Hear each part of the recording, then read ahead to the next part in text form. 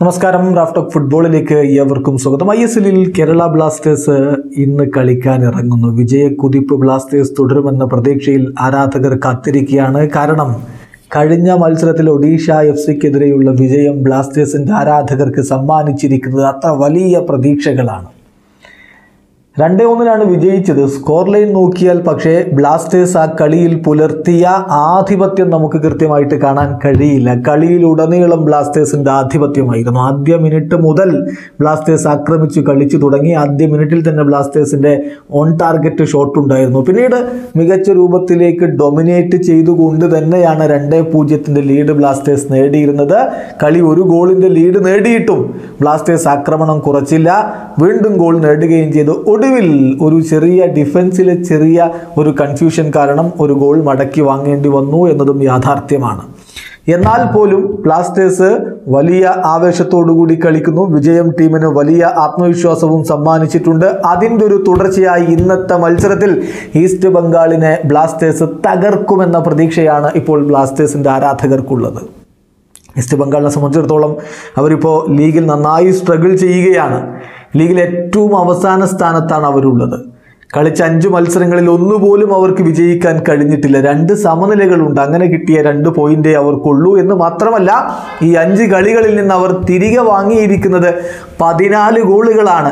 അവിടെയാണ് ബ്ലാസ്റ്റേഴ്സിന്റെ താരങ്ങളായ അഡ്രിയാൻ ലൂണക്കും ആൽവരോ വാസ്കസിനും സഹൽ അബ്ദുൽ സമദിനും ഒക്കെ ഒരു കണ്ണുള്ളത്. കൂടുതൽ ഗോളുകൾ നേടാൻ അവരുടെ ആ ലീക്ക് ചെയ്യുന്ന ഡിഫൻസിനെ തകർക്കാൻ ബ്ലാസ്റ്റേഴ്സിന്റെ സ്ട്രൈക്കർമാർക്ക് മുന്നേറ്റ നിരക്കാർക്ക് കഴിയുമെന്ന പ്രതീക്ഷയാണ് ഇപ്പോൾ എല്ലാവരും വെച്ച് പുലർത്തുന്നത് എന്തായാലും ബ്ലാസ്റ്റേഴ്സ് ഇപ്പോൾ നാല് കളികളിൽ നിന്ന് അഞ്ച് പോയിന്റുമായിട്ട് ലീഗ് ടേബിളിൽ എട്ടാം സ്ഥാനത്താണ്. എന്ന് വിജയിക്കാൻ കഴിഞ്ഞാൽ ബ്ലാസ്റ്റേഴ്സിന് എട്ട് പോയിന്റ് ആവും തീർച്ചയായിട്ടും നിലവിൽ നാലാം സ്ഥാനത്തുള്ള ജംഷഡ്പൂർ എഫ് സിക്കും മൂന്നാം സ്ഥാനത്തുള്ള ചെന്നൈയിൻ എഫ് സിക്കും എട്ട് വീതം പോയിന്റുകളാണുള്ളത്.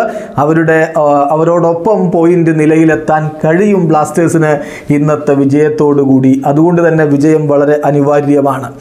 ഏതായാലും ഈ ഒരു മത്സരത്തിന്റെ കൂടുതൽ വിശദാംശങ്ങളിലേക്ക് നമ്മൾ പോവുകയാണെങ്കിൽ ബ്ലാസ്റ്റേഴ്സിന്റെ ഭാഗത്ത് ഗോൾ കീപ്പർ ആൽബിനോ ഗോമസിന് പരിക്കാണ്. രാഹുൽ കെ പിക്ക് സർജറി ആവശ്യമില്ല. അദ്ദേഹം എത്രയും പെട്ടെന്ന് ടീമിലേക്ക് മടങ്ങിയെത്തും. ടീമിനോടൊപ്പം തിരികെ ജോയിൻ ചെയ്യും എന്നൊക്കെ ഇന്നലെ പ്രീ മാച്ച് പ്രസ് കോൺഫറൻസിൽ ഇവാൻ വുക്കുമനോവിച്ച് പറയുകയുണ്ടായി. എന്തായാലും രണ്ട് ടീമുകളുടെയും ഹെഡ് ടു ഹെഡിലേക്ക് നമ്മൾ പോയാൽ രണ്ട് ടീമുകളും തമ്മിൽ ഓരോ മത്സരങ്ങളാണ് കളിച്ചത്.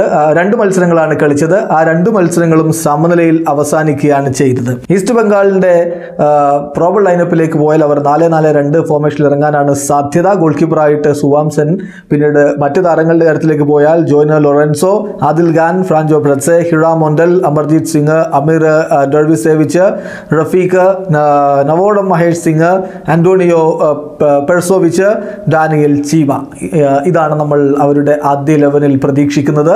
കേരള ബ്ലാസ്റ്റേഴ്സിന്റെ ഭാഗത്ത് പ്രക്ഷുകൻ സിംഗിൽ ഗോൾ കീപ്പറായിട്ട് അദ്ദേഹമായിരിക്കും ആൽബിനോക്ക് പരിക്കാണ് മറ്റു താരങ്ങൾ Harmanjot Khabra Marko Leskovic Enes Sipovic Jessel Carneiro Vincy Barretto Jeakson Singh Puitea Sahal Abdul Samad Adrian Luna Alvaro Vazquez ഈ ഒരു ഇലവനെയാണ് നമ്മൾ പ്രതീക്ഷിക്കുന്നത്. രണ്ട് ടീമിലും മാൻ ടു വാച്ച് ആരെയാണ് ശ്രദ്ധിക്കേണ്ടതെന്ന് ചോദിച്ചാൽ ആന്റോണിയോ പെഴ്സോവിച്ച് ഈസ്റ്റ് ബംഗാളിന് വേണ്ടി അദ്ദേഹം മികച്ച പ്രകടനം നടത്തുമെന്ന് പ്രതീക്ഷിക്കുന്നു. എഫ് സി ഗോവയ്ക്കെതിരെ അദ്ദേഹം രണ്ട് ഗോളുകൾ നേടുകയും ചെയ്തിട്ടുണ്ട്. അതിന്റെ ഒരു ആത്മവിശ്വാസം അദ്ദേഹത്തിന് ഉണ്ടാകും. ബ്ലാസ്റ്റേഴ്സിന്റെ ഭാഗത്ത് തീർച്ചയായിട്ടും അഡ്രിയാൻ ലൂഡ ഇപ്പോൾ കേരള ബ്ലാസ്റ്റേഴ്സിൽ എത്തിയതിന് ശേഷം മികച്ച പ്രകടനമാണ് ഈ സീസണിൽ ഉടനീളം അഡ്രിയാൻ ലൂണ കാഴ്ചവെച്ചിട്ടുള്ളത്.